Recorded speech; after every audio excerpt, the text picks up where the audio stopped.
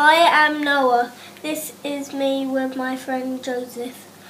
We are beavers. I learn about new things like cooking and rockets. We write messages in, in invisible ink like this. At Beavers, I feel happy.